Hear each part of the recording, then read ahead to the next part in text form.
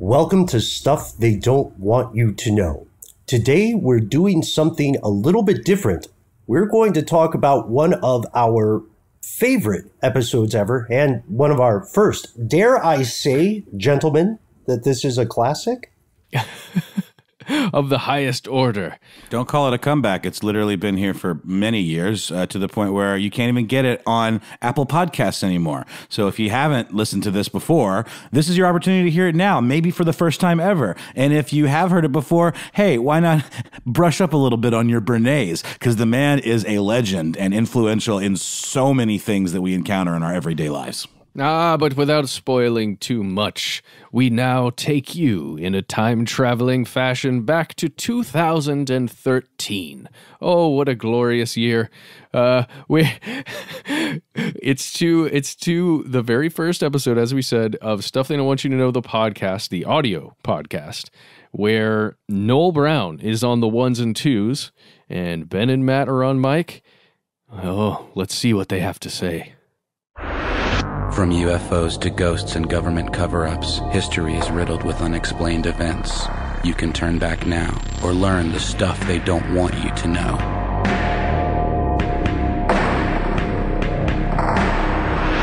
Hello, everyone. Welcome to the first episode ever of Stuff They Don't Want You to Know, the audio podcast. Uh, my name is Matt Frederick. I'm the editor and producer on this show.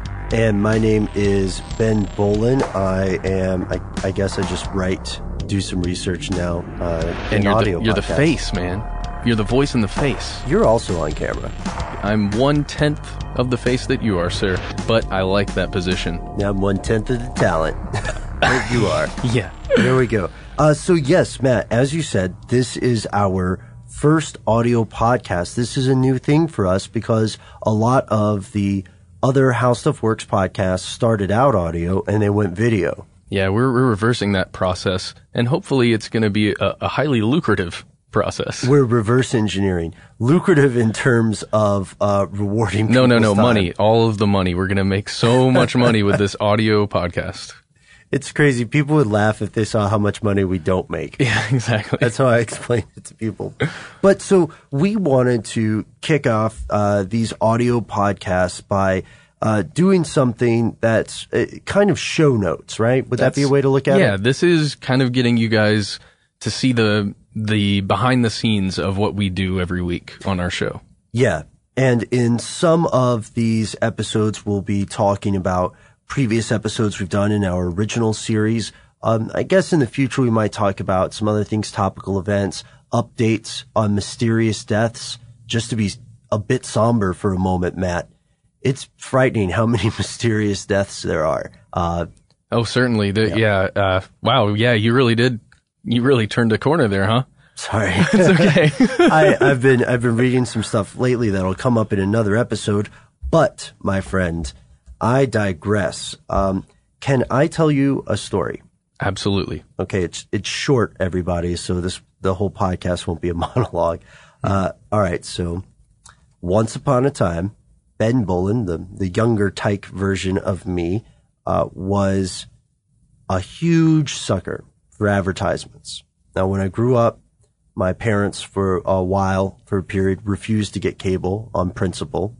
So, uh, and I'm going to date myself here. We had, you know, one of those rabbit ear antenna, fuzzy screen thing, just because I guess they didn't want me to watch a bunch of television. So as soon as I was around televisions, uh, with cable and stuff like that, I went nuts for commercials. You know, I would see commercials for toys, of course. Every kid falls for those, and I would go nuts and bananas over that. But I'd see commercials for stuff that a six year old would not reasonably want, like a truck, like an actual truck. Like a Toyota? Like a pickup truck, yeah. And I would go, you know, I should learn to drive so I can buy one of those. Oh, wow. And I'm, I'm six. And then, uh, An ambitious young man you were. And to be candid, a lot of it stuff I didn't understand. You know, a lot.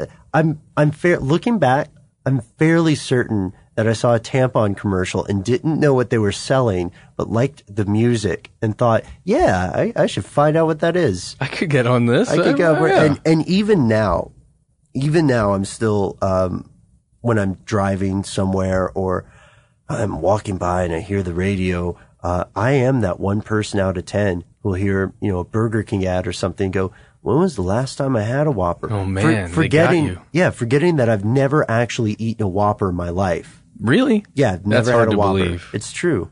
Really? Yes, dude, Scout's honor. I might have to. All right, I'm gonna have to get into. I'm gonna have to talk to your friends and figure out if that's a true story. Because the Whopper, man, you, you've got to have a Whopper before. Call the NSA. They can verify my story. Well, for me, it was the Nerf Nerf commercials, Super Soakers, anything uh, like laser tag commercials, all that kind of stuff got me. I was such a little non-military kid that the fantasy of having a gun that I can shoot, no matter if it shoots foam or water, that was my big fantasy. And I, those, man, those got me hook, line, and sinker. And so, end of the story, still sucker about advertising, both of us, but I think we're very much more aware of it than we were in Vance. Uh, we, we have done some cool experiments. This is something that's a, a great experiment for every listener to try. Pick a day, pick a day like a week from now, and say, from the moment I wake up, I'm going to keep count of every advertisement I see or hear That's going to be a full day. it's it's so difficult to do so. It's like trying to count the uses of the word "the" in a in a paragraph. But why has advertising become so ubiquitous? Why has it become so pervasive? Why Uh, are we living in an age where everything can be for sale? Well, first of all, capitalism. All right, all right. but there's one very important gentleman who has an influenced pretty much everyone who has worked in the advertising industry since the 1920s, I mm-hmm. believe. Mm-hmm. And his name is Edward Bernays. dun dun dun. yeah, I uh, should have said that more on, ominous. Well, here, just try it again. Edward Bernays. Dun dun dun. I changed up the sound. I still like it. Yeah, it was it was good. We'll keep that one. Okay. but uh, but yes, Edward Bernays. This is an historical figure that you and I examined in our three part series on Edward Bernays, known as the father of public relations, nephew of Sigmund Freud.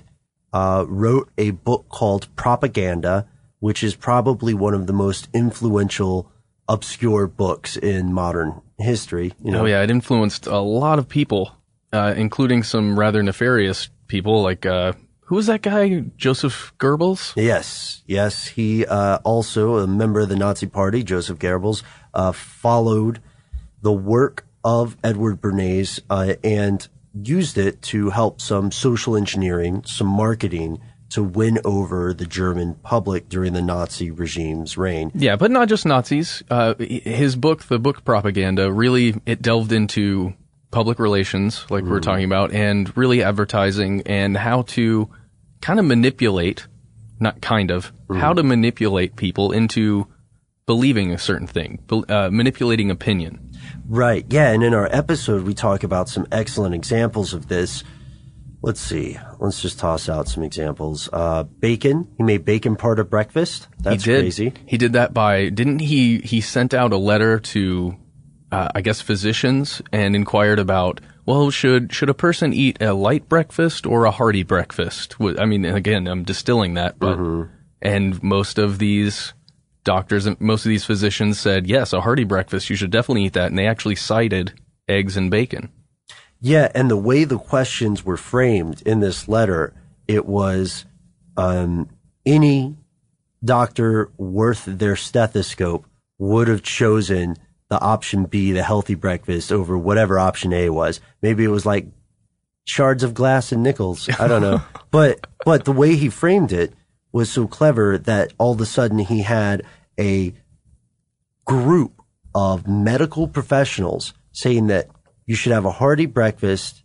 And then they jump from there to say that bacon was part of a hearty breakfast. But the whole reason he got this gig was because pork uh, manufacturing and pork livestock companies Yeah, the the beech nut packaging company. specifically, yes, the Beechnut Packaging Company uh, had a bunch of what we would call American bacon, right? You know, it's not the bacon that flies in the rest of the world. They had a bunch of this stuff, and they couldn't sell it, and so they con- contracted Edward Bernays to help them sell it. So instead of going with advertisements, he created an opinion that he could market and made it made it an appeal to authorities by having the doctor say it, and that's far from the only thing he's done.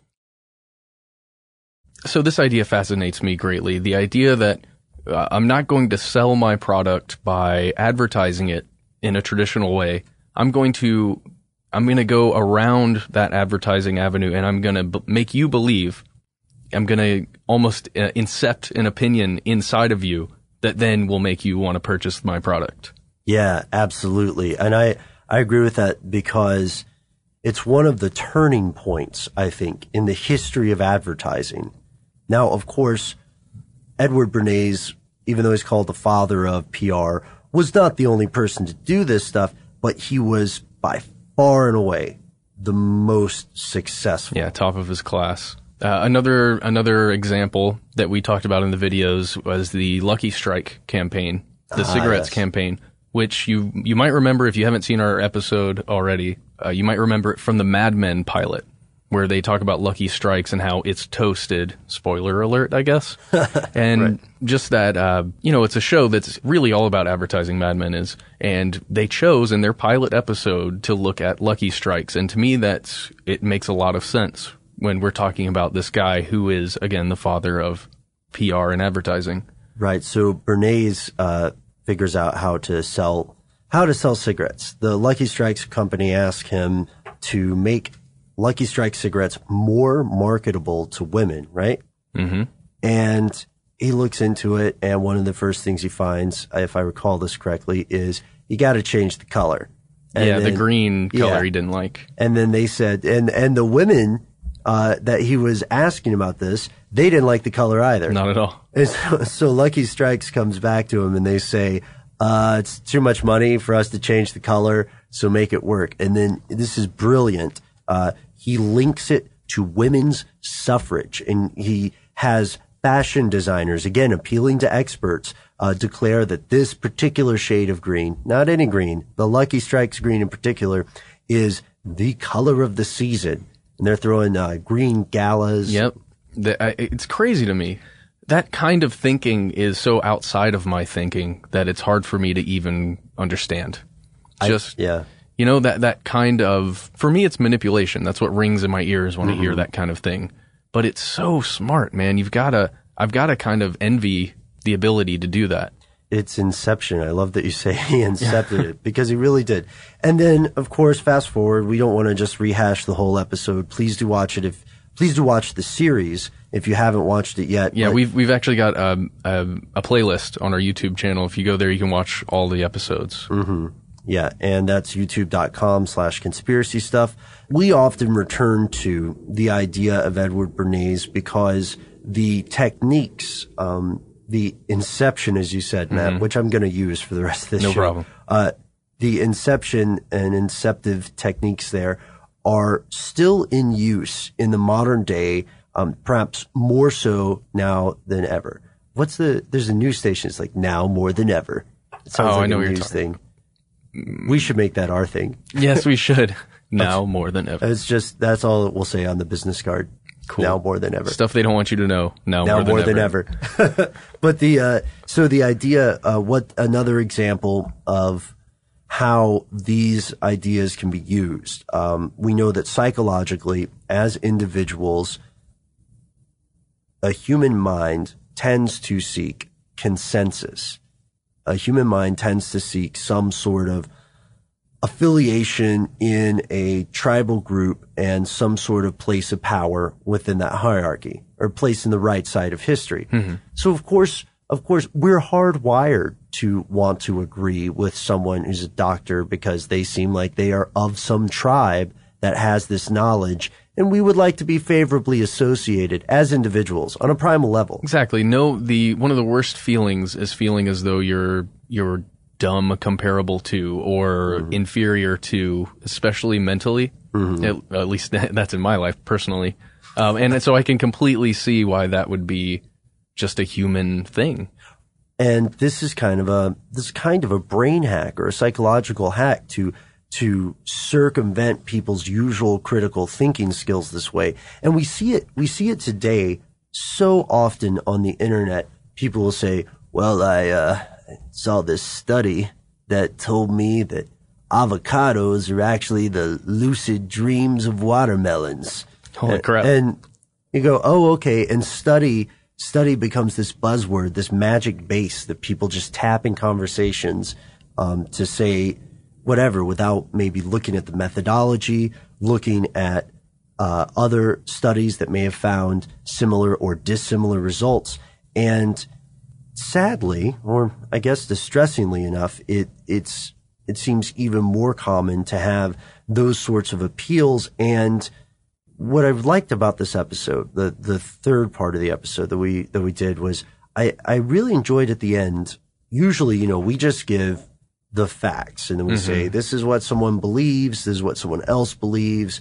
Maybe it could be true. Here's some stuff for or against it. But in that in that third episode, we actually stopped with kind of a cautionary note, right? Yeah. And we warned people to be very careful when you hear someone just citing a vague study without citing anything else against it, you know? That's that's a huge point, and that's why we've started putting in our episodes the.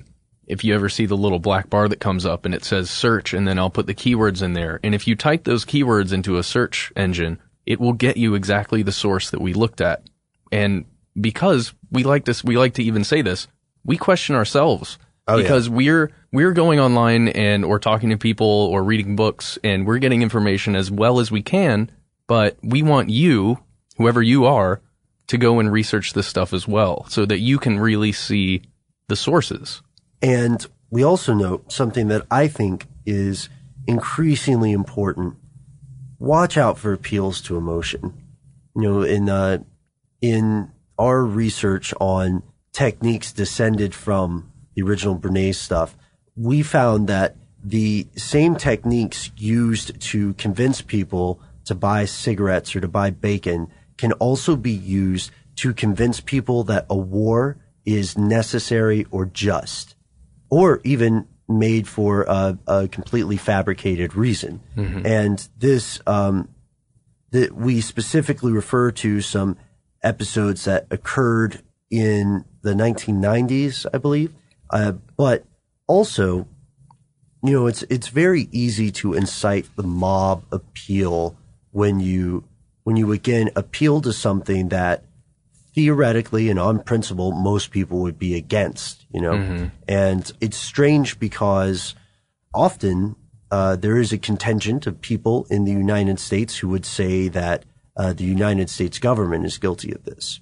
However, not that it makes it any better or any worse. Uh, this is a common game that countries and, and governments and even corporations play with customers and citizens and um, just regular regular Joes like Matt and Ben. So when you hear uh, a lot of insightful stuff and people are telling you very emotionally reasoned things and not really citing something that is concrete, quantifiable, falsifiable even, then you have to take it with a grain of sand or a, a grain of salt. Yeah. There we go. Either way. Wheelbarrow of salt. Well, Uh, yeah. So to that point, we this is one of the things we talked about in I think it was the third episode, the Hill and Knowlton uh, strategies, Right. And their the whole nurse Naria Nayirah thing. Um, yeah, that's exactly what Ben's talking about, and it was a corporation that was paying someone allegedly ten million dollars to make up a story that was so. If you were against, if you were against that story, just like you said, Ben, you're a terrible person. Yeah, and the story really did pull at uh, emotional heartstrings. This uh, nurse Nayirah was speaking to, was it the UN? I honestly don't know where Okay, she was yeah, speaking. I, we've got it in the episode, but in her speech, which was disseminated widely across the re- Western world in the lead up to um, the Gulf War, Mm-hmm. th- this nurse uh, was saying that uh, Saddam Hussein's Iraqi forces were uh, doing something um, ruthless, right? They were taking babies, out babies, yeah, babies in incubators, taking Yeah. them out and letting them die. they were killing babies by taking them out of incubators, and it started off being hundreds and hundreds and hundreds. Turns out that probably never ever happened. And the quote unquote nurse was not a nurse. She was the daughter of an ambassador. Right. Which is still, we still have to tack an allegedly on that. I mean, she was, that actual person was definitely the, the daughter of the ambassador. We have to attach that allegedly tag on there, uh, just because there wasn't much fallout from this, from this crazy, um, you know, at the risk of sounding callous, it's kind of a viral marketing campaign for a war. It, re- it really was. And we see the same thing in other countries. One of the great things to do, excuse me, one of the stabilizing things to do if you are the head of a country and the people are unhappy, the people are rebelling, maybe there's starvation, inflation, quality of life goes down, is that you find some cause that everybody can get behind, whether it's the persecution of some other minority, whether it's the idea that there is an external threat that we all need to band together against. Or you can always just throw around that great word freedom and or democracy. Ooh, I wanted to talk about that. Yeah. Uh, it gets me. It gets me when people say, when people can say, well, the facts may, the facts may not match exactly what I'm saying, or the facts may not be on my side now, but I know in my heart. I hate it when people say they know in their heart. You know, I, maybe I'm intrigued. At I know in my heart that the Whopper is actually a much better burger than you would like to think. maybe I should, like, at this point, will the Whopper even match the hype? Oh no, not at all. We should point out we're not being paid to mention Whoppers. yeah, sorry. Uh, we can bleep it out, and or so it's just like the and then we'll bleep it. It'll be redacted, but then by this point in the show, people wonder what we were talking about. Exactly. Oh, that is good. Well, Matt, I wanted to, before we get out of here, I wanted to uh, ask you a couple of questions about Edward Bernays, if that's okay. Yeah, absolutely. All right. So, do you think that Edward Bernays should have made these discoveries or made these techniques? Should he have made them? Well, if Edward Bernays hadn't made these discoveries, I'm fairly certain someone would have. Uh, just from the way psychology was moving at the time, it's it's a hard question because i in my head, it fuels this massive consumerism uh, where there's a lot less production, creative production, and much more consuming Oh, I see. from Okay. a public standpoint. Yeah, I've heard that. I've heard that argument before. I don't know if advertising can be can be linked to that specifically because advertising, you know, predates companies. One of my favorite early examples of advertising uh, was, I believe, I can't remember if it was ancient Greece The beer commercial. or ancient Rome. No, prostitutes used to have arrows on their sandals in in these yeah in, in ancient Greece. And I'll, I'll figure out the specifics on this so that when people saw them walk by, No. they would be able to follow the arrows to the brothels. Wow. That is 100% true. Advertising, I think, is um, a natural mode. It's sort of an attenuated or focused uh, method of communication. The the idea that we can hack things um, or we can hack somebody's perception of it has been approached from a scientific perspective quite recently in the story of human history. But people have always been trying to sell things. What I what I think might be more dangerous to that point, and I do agree that it is becoming an, a, an increasingly consumer based society rather than producer. I think the, the phrase that's been used by, I don't want to quote anybody, but the phrase is the feeders. the feeders. Yeah. Uh, for just the standard public, uh, Oh man, consumers. But, you know, that's fine. We, we can get into that later. that's terrible, man. But yeah, I see that idea, but I think what's happening more is not so much based on advertising as it is the near continual sources of stimulation. But it's it's strange. Um, I was talking to someone, gosh, years back when we first kind of started the show, and one of the things they said to me was that in the pre-digital age, the control of information was sort of a, a control of omission. So if, for instance, we had, if we were um, part of the government agencies obsessively monitoring Martin Luther King Jr., then we would just prevent that information by coming out by never disseminating the documents and by never snitching on each other.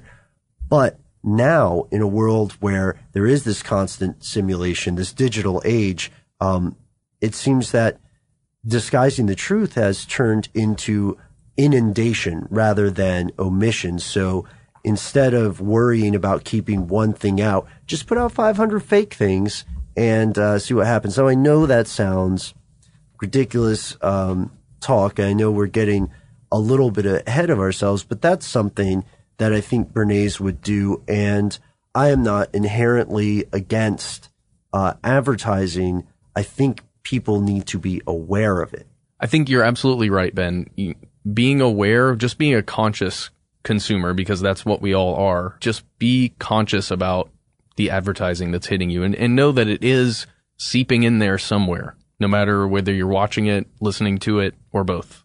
And speaking of watching and listening, thank you so much for listening to uh, our first ever audio podcast of stuff they want you to know. We appreciate your patience as we work the kinks out.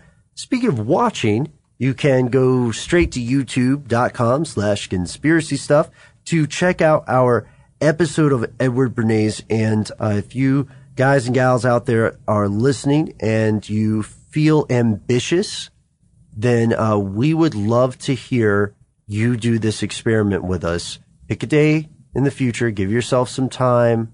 You know, don't be drunk at four in the morning and say you're going to do it tomorrow. Give yourself a week and then say one day out of, out of this week, I'm going to count every single piece of advertising I see from the moment I wake up to the moment I go to sleep.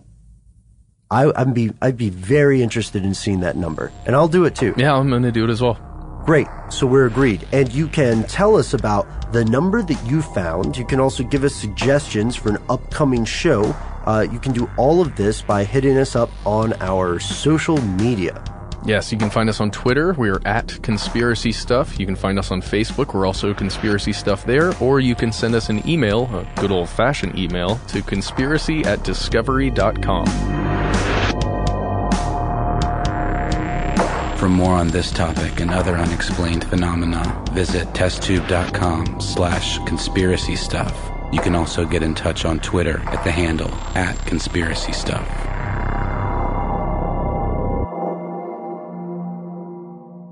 Stuff They Don't Want You to Know is a production of iHeartRadio.